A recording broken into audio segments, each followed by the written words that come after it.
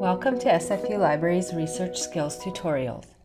In this video, you'll learn where to find research guides to find background information on your topic.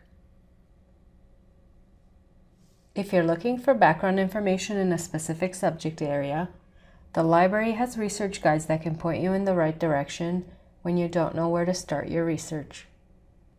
To get to the research guides, let's start at the library homepage. Under the Help menu, go to Find Materials by Subject and Course. Here you'll find subjects listed alphabetically. Let's select Criminology.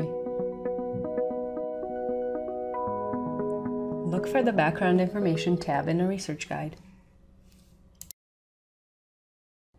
This page will suggest some sources you can use to get familiar with your subject area if you don't know much about it yet. It will give you some recommendations so you'll know exactly where to start looking for general reference sources like bibliographies, dictionaries, references, and encyclopedias.